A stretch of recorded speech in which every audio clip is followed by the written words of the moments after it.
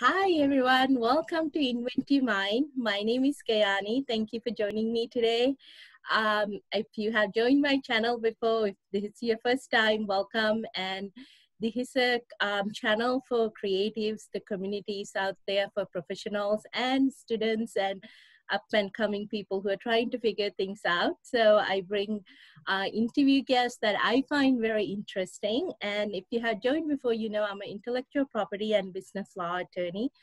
And that means I do trademarks, copyright patents, and I work with for me forming businesses like Benefit Corporation, Co LLCs, and C Corps and S Corps. So, um, you know, and part of my channel have been to bring forth interviews with other attorneys who do different type of laws or even do something similar but you know how they handle things and today's uh, interview guest is one of my really good uh, mentors and a friend and a colleague uh, renee stackhouse and she actually is amazing. I actually met her when I was in law school. She was already practicing um, attorney, even though, because this is my second career.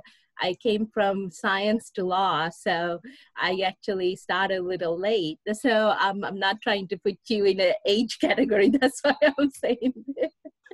Thank you for that.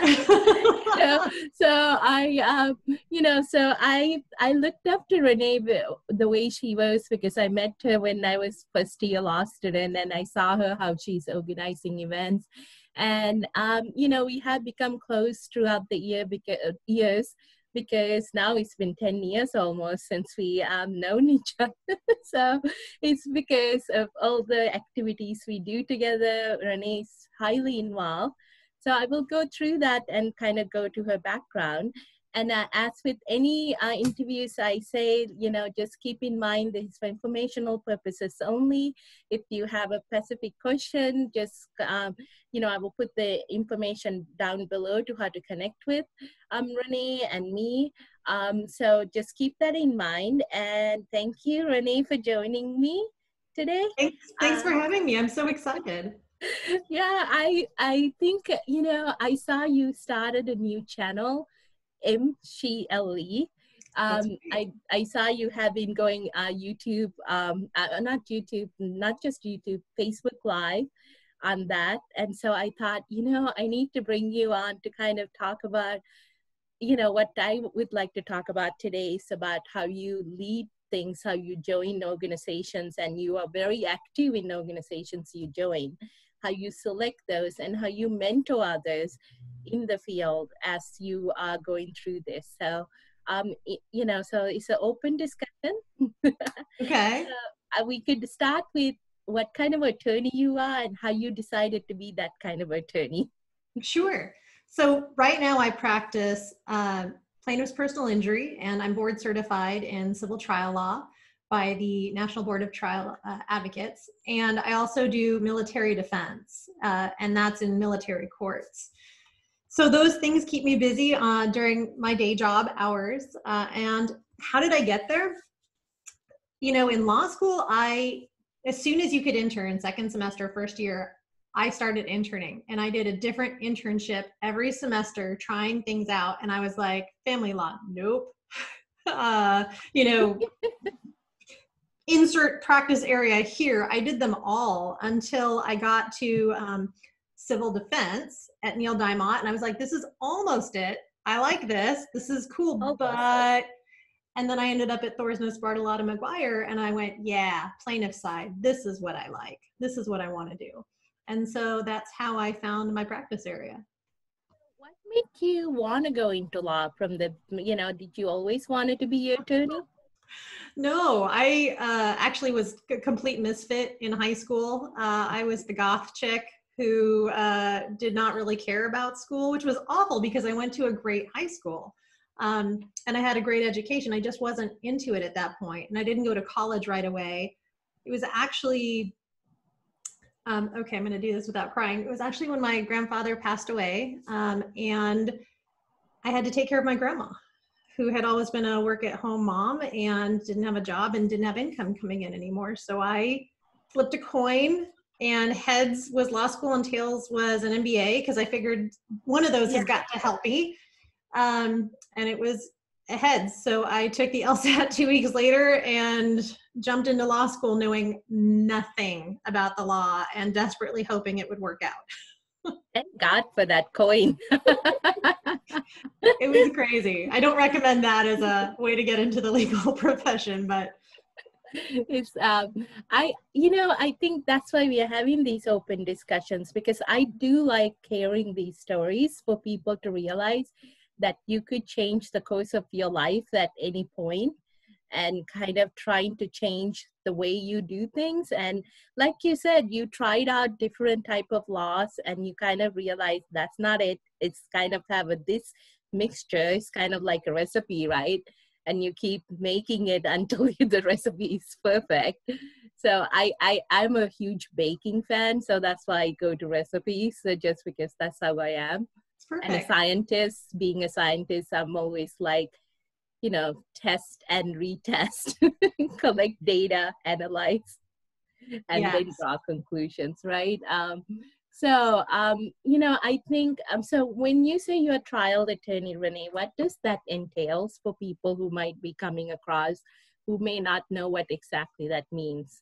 Sure. So i uh, when i do my intake with a potential client I don't take a case unless I'm comfortable taking that case all the way to a jury if I need to. Mm-hmm. And I always tell my clients, uh, you know, the goods and the bad about their case so that they understand where the struggles are going to be and what the weaknesses in the case are because there's no such thing as a perfect case. Otherwise, they would have just thrown a bunch of money at you and it would be over anyway. Um, so, you know, we, we always talk about there's, here's the path to trial but at the same time we could settle the case if you want to at any point as well. So we're always working a parallel track of building a case up in case it gets to people um, and also that usually helps it settle at some point along the way too because you're working the case up right you're making sure you're building the strongest case you can you're reaching out and using experts and making um, dis- discovery inquiries and you know ultimately getting ready to say hey look i get we have to fight about it. You're doing your job I'm doing my job. Let's let 12 people figure it out. So, um, I wanted to add this part to it. The reason I asked what does that mean is because I think we see things on TV and we think that's what an attorney is. Like Law and Order, I was a huge fan of Law and Order. and, and I didn't go into law because of that. I will just actually stopped watching Law and Order after I became an attorney because I kept on seeing all the problems with it.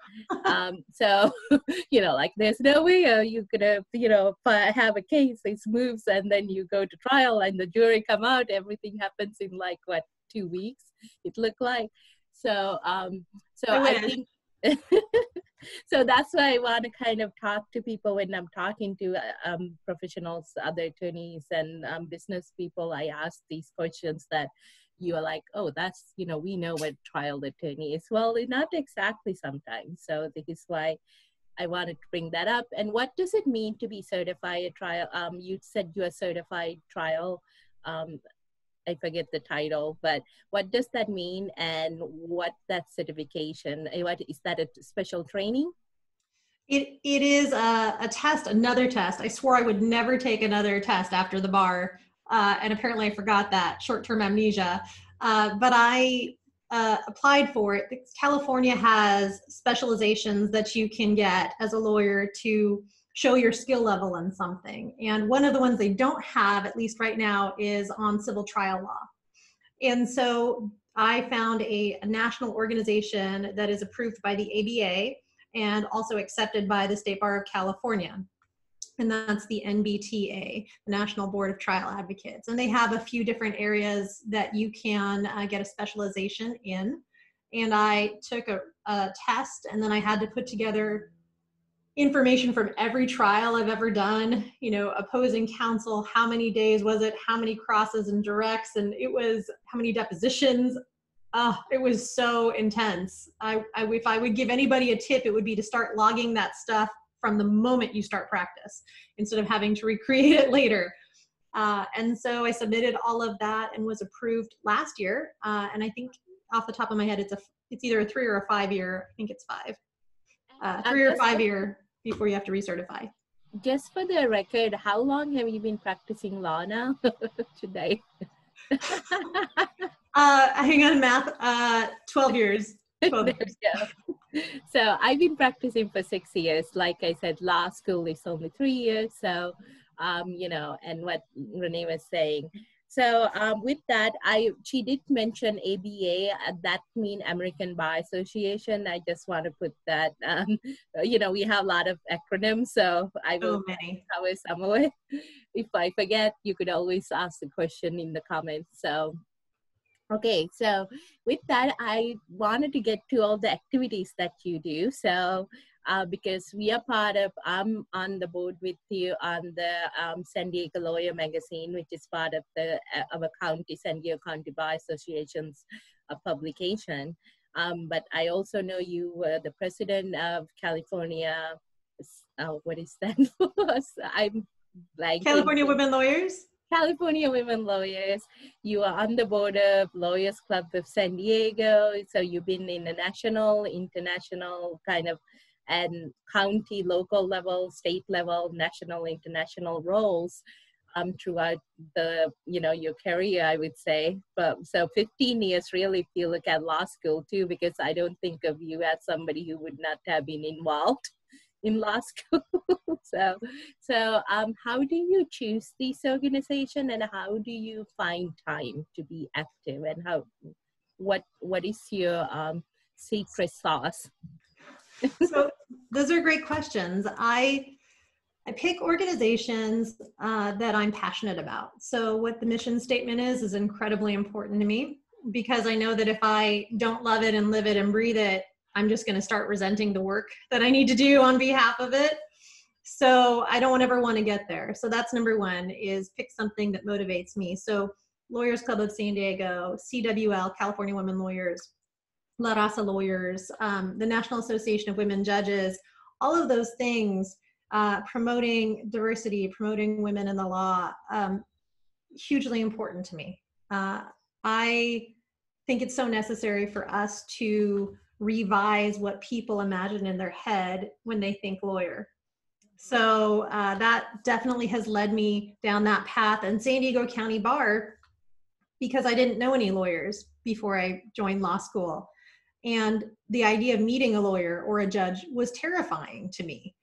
And so to be able to give back to those law students who may not have had that experience to help them build practices and feel comfortable in the legal community to effectuate the change from the specialty bars into the greater bar association i mean all of that's just so important so that's how i pick um, time uh, that's a tough one i calendar. I, I will just interject here that the reason I asked that is you are also mom. Your uh, son is how old is he now? Like I know he's three years, four three years? and a half, yeah, three and a half.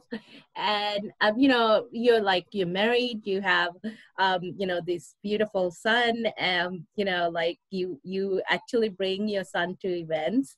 I have even in the infant years, I remember saying that, which I thought was amazing because I think like you said, it's changing the mindset, right? To show that you could do both. You could be effective doing both, like you could be a mom and do this. And also you had to find balance somehow. So I think that's that's the type of discussion I kind of wanted to like ask you. How do you find that time? Because it's not like time is something we could stretch in a way, right? So you had to really kind of plug it in. Well, I feel like uh, you, as a lawyer who's involved in the community, you get good at kind of stretching time. But uh, I, I, live by my calendar, uh, which is great. And my husband, who's also a, a solo lawyer, share we share calendars, so we're very cognizant of booking things. And okay, if you're scheduling that, then I won't schedule during this time, so that we can always support each other, which is huge. Uh, some things I, I love bringing my son to everything I can. One, to destigmatize the fact that, that, you know, most people feel like you have to choose between being a mom and a lawyer, which I hate. I don't think you do. Um, and, but I, but I also, I balance it with being careful about, I don't want him to distract from the event. So it's always a, a balance and knowing that if he is done with whatever we're at, I can say, here, dad, take him, you guys go for a walk, and I will continue being lawyer at this point. So very, very fortunate to have a support system in him. uh, that allows me to be active and you know to um, share that time and so that's really helped me be successful in planning you know or like today when i say hey i'm going to do this great webinar with my friend and he says cool i've got the kiddo have fun and um, so I think other reason I wanted to chat with you is you're one of the um, leaders I have seen because we have worked in committees together that uh, where you were the committee chair and I seen you how you lead things and I love it because you actually give a lot of leeway. You don't micromanage, which I really appreciate. So um, I wanted to talk about that leadership style. How do you, um, for anybody who's out there thinking about how they're running a group, how do you do things? Kind of your philosophy. Well, so I have to first I reverse roles with the people I'm I'm working with, right? And I hate being micromanaged. I mean, it's the worst. I, if you're going to put me in a position, then trust me to do the work in the position. And that's what I want to give to everybody else I work with. There's a reason this person was chosen as a leader or put in charge of something, and it's because they have the skills and the competency to do it. So I'm all about letting people know if you need help, I'm here for you. But otherwise, make this yours. Have fun with this. Be creative. Make it the most amazing thing you can possibly do within the scope of what you've been given, within the budget of what you've been given, and and have a blast with it. Because at the end of the day, it's volunteer work most of the time. No one's getting paid for it. So you have to enjoy it. And if you're dreading the meetings, if you're dreading being told what to do, if you're dreading being involved, you're not going to stay involved. You lose too many good people like that. So I think it's really important to foster that. Plus, then you're teaching people how to lead themselves so that they can continue up the ladder of leadership. I think your style have actually have inspired me to be a little more hands off because I think as I think the one of the challenges is that you know i hate being micromanaged but at the same time i think sometimes people who are like me tend to also because we we are all perfectionists too right? We have our because we are professionals we came to this level because of things we have done then you also have things where you kind of want to do things certain way and you kind of see it a better way. Um, so it's kind of also having that patience and kind of drawing back because that's where I think your inspiration come from is not to be a micromanager. Yes, I think it's easy to be a micromanager if you're like in this level sometime, you know, because you just want to make it sure it's you, it's, it's, you know, represent what it could be, right? But when you give people space also, you let them, yeah, sometimes they will make a mistake oh they may not be at the same level that you wanted them to like you could have done it yourself but it's also acknowledging that you know we had to grow right? So so much in there is, is yes. I mean it, for me it's when you were talking the things that were raised was the thing Lalise always says to me my friend Lalise which is don't let perfection get in the way of done. And i'm like yes right? Okay it doesn't have to be perfect. It needs to be done uh, and I think you're exactly right. We are OCD and type A, and we want it to be amazing and perfect. And sometimes you just got to let it go and let it be done. Um, and and then yeah, sometimes people don't follow through, or sometimes it's not exactly what you were hoping for it to be. But as a leader, you can't take on everybody else's stuff. You have to let them be responsible for it. At the end of the day, and sometimes that means last minute getting involved and helping and you know helping it be successful. But the point is remember that that's part of the team effort. And so that sometimes real life intervenes. Sometimes subcommittee leaders or committee leaders have something happen. Work raises its head. And you know what? People are lawyers first. This is again it's volunteer. So just being able to reach out to folks and say hey i got your back we're going to make it through it. And then the other thing is have two committee chairs so that if something does happen to one of them, they've got backup immediately built in. That's one of my things over the last few years is is co-chairs are amazing.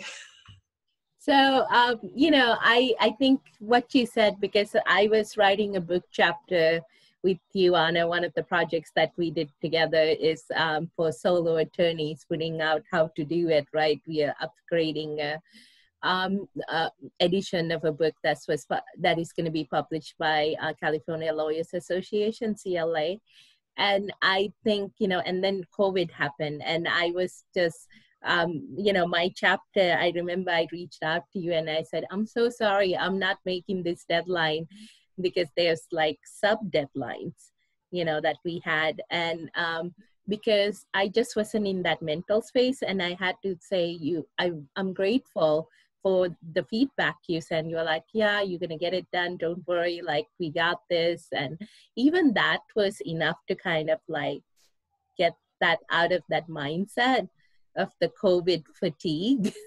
I would call it, and to just get to that, okay, I could do this. And other part of what I think uh, sometimes people don't realize is, and I had this amazing professor undergrad who trusted me with like in my, in his research lab with a couple of huge projects. And um, you know and i think you and him these kind of leaders who are not micromanaging but also help support is they inspire you to do better and you want to do a good job so i had to say um, that's what i like about it. Like when you said that to me i also had this mindset well i really cannot let renee down too.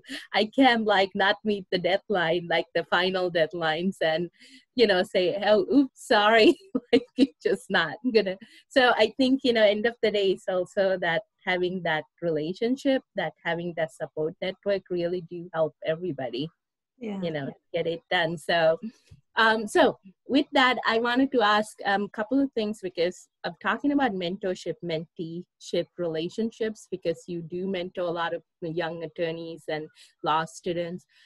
What advice do you have for people who are mentoring people? And uh, what advice do you have for the students who want to find a mentor or being mentor? Okay let me think about that. So advice for the students looking for a mentor let me start with that mm-hmm. um, i would say definitely find one i know that a lot of times lawyers go and speak at law schools and we say please call me, email me, here's my card, get in touch. And then it's like crickets, chirp, chirp, chirp. Nobody calls. I would have killed for that opportunity in law school to have a lawyer tell me that. So it just kind of blows my mind like, take us up on it, mm-hmm. number one. Um, and number two, don't do that random weird cold email have never met you but here's my resume let's talk like mentorship doesn't work like that that's just way too forced um, meet me in person at an event and then send me a follow up. And hey, we met here. And then I'm, I'm intrigued. Oh, yeah, I remember you. I remember meeting you. And yes, great follow up. I would love to spend some more time getting to know you. So I would absolutely say make sure to make that personal connection first. Um, um and it's so important. Ask you that Renee, yeah. for that, sorry to pause on this part. Now, because we don't have in-person meetings this year, because we are in 2020 and we are recording this in July um, in California. So um, for those who uh, listen, may have listened to this right now and thinking, well, I don't have an event to go to to meet you. What is like, a, what would you suggest as an alternative right now? So it's the great equalizer. I was actually talking about this with the president of the bar, Johanna Schiavoni, the other day. Um, COVID has made sure that you don't have to have a ton of money to go to all the dinners or all the events to network. Everything's virtual. So mm-hmm. even though we can't meet in person, so for instance, if someone is watching this, you said you were going to put my email on the bottom, email me you know um, or after a webinar if you see me talking or we're both in the participants of a zoom meeting follow up and just say hey saw you wanted to connect. That's great. Um, and especially when i'm sitting at home and i'm not having human interaction with folks i love that. I would love to take some time to talk to folks and and uh, you know have a glass of virtual wine or coffee with them. That's that's always something nice to do and for those who are mentoring people, um, that's was because I had the com- compound yes. question, you know. yes. No, thank you for the kickstart. I forgot about that already. uh, okay. So for those who are mentoring, I would say um, be, be kind. Number one, I feel like we put an enormous amount of pressure on the law students and the new lawyers to do certain things to fit the mold that we did. So it, it must it must be great because it worked for us. Um, and and it doesn't work like that. You know, we can't tell people what to do, but we can give them options. I think, I would, and I would recommend that more than anything, which is someone comes to you and says, "What should I do?" It's the same thing I tell my clients. I can't tell you what to do. But what I can do is let you know path A, B, and C. Which one do you think will work for you? Um, because I think one of the problems in the legal profession that we perpetuate is that uh, there's only one way to be successful, and that's you know it looks a certain way, it feels a certain way, and that's mm-hmm. definitely so far from the truth, and it definitely doesn't foster a healthy uh, career. So mm-hmm. I think it's really important to make sure that people know there's a lot of different paths out there for them. So um, I know one of the things that you really care about that um, uh, let's talk about the M- MSheLE. That's M S H E L E that you launch. Um, you had it for a while. I know that because I seen it on your LinkedIn.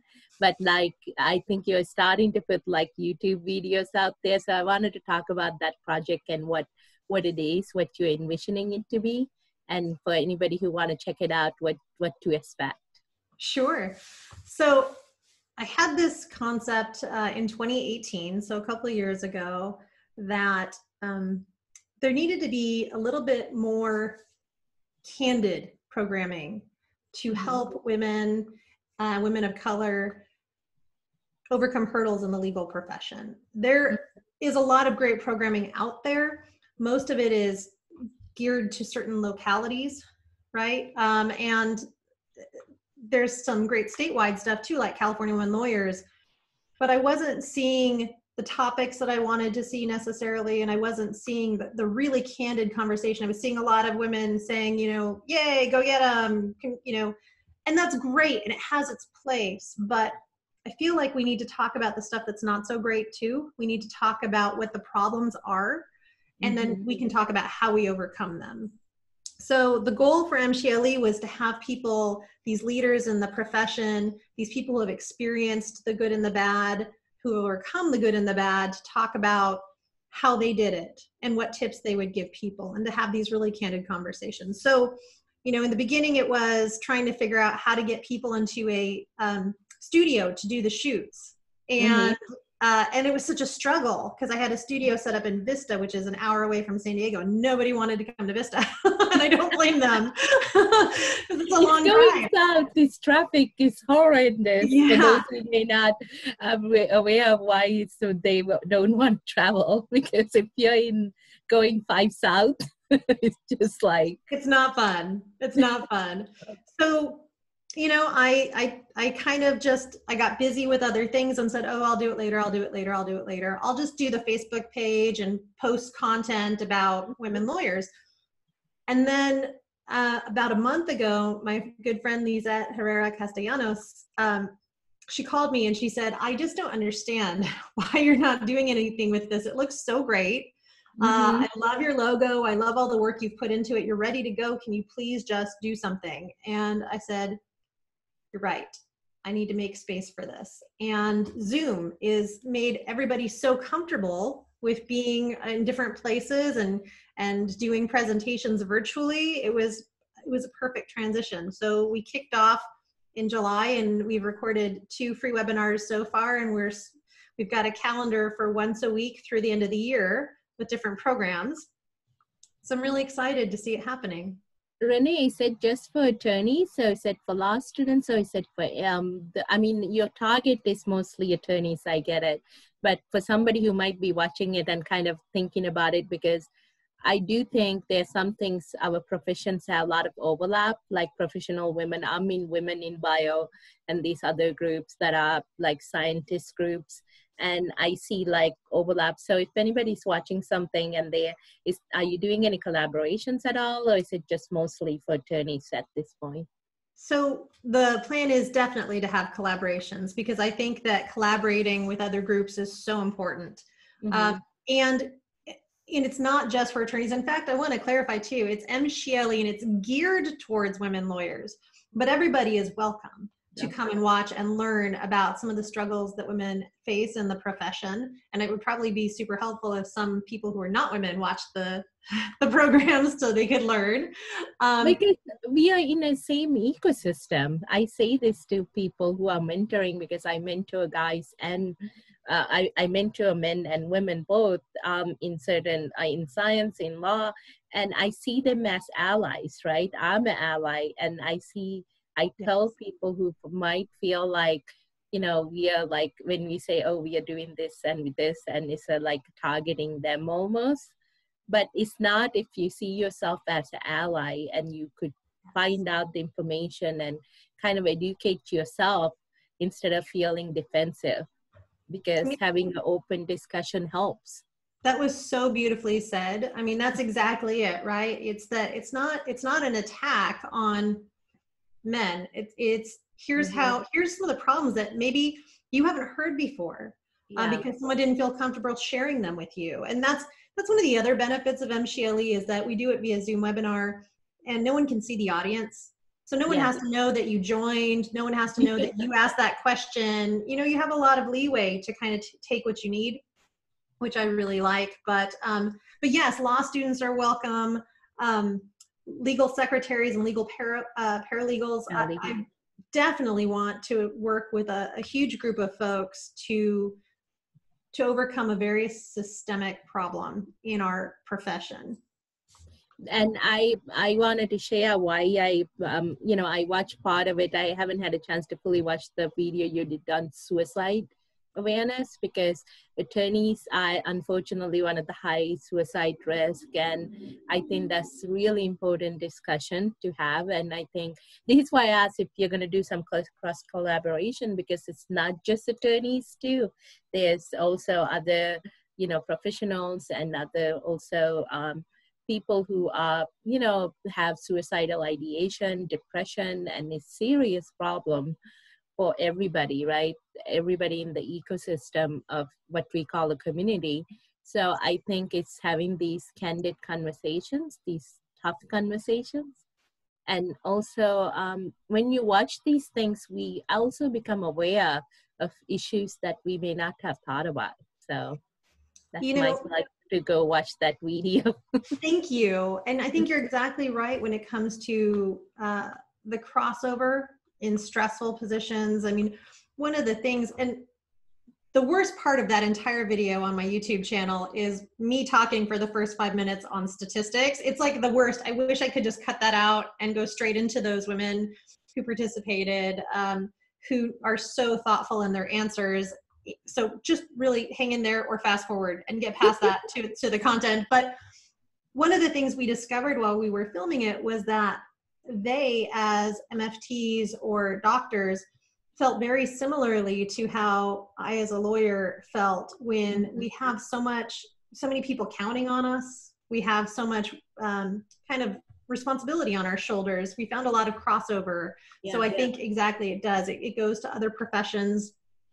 And we just have to be cognizant of this fact that we don't have to be perfect all the time. I'm so tired of that completely untenable um, uh, I, don't even know what the word is the it's placed on us that we have to be these perfect paragons all the time. Can't ask for help can't be tired can't be i mean it's just it's not real. Can't make a mistake.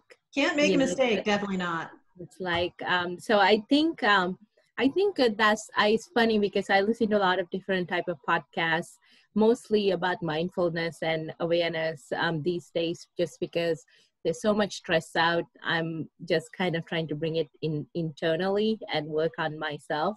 So, um, so one of the podcasts I was listening to just today um, on Insight um, Sounds True Studio, they are posting it, and um, I will put the link down to it here the, the guests they have had talk about it's being okay with being a B minus, doing something with it. and I, I just stuck to uh, that. Just stuck to me because she said instead of expecting to be a perfectionist, how about you aim like you say, I'm okay with the B minus, because you still get it done, and your perfection is different for other pe- people who are looking at it. So you know like when i put this youtube channel together i just put it out and some of the videos in the beginning i'm like i i cringe at it even now sometimes i'm like oh i did that but it's just being okay with it and just being uh, putting it out there because the content is really important to me and what i'm trying to build and what i'm trying to share and hopefully important to you so uh, with that, um, we are almost running out of time. So I wanted to ask Renee, what do you do for your sanity? this kind of like question I've been asking my guests about mindfulness. So like, how do you stay stay true to yourself in your integrity and be grounded? So this is this might sound funny, uh, but it is really, really rewarding to see a tangible result of your efforts immediately. Uh, and that's what makes me feel good and what makes me grounded. And so it's building things. I love saws. I love power tools. I love being able to uh, go into my garage and build something, and you can almost immediately get this result. It's not like trial work where two years later you may, you know, get in front of a jury. It's right now, today, turning these materials into something I can use. And it's just so rewarding and beautiful. That's how I stay sane. It's so funny, but I'm laughing because I've seen you on Facebook post like pictures how you've been doing a lot of gardening and upgrades to your place, and you literally have like a rake you know attack on your face.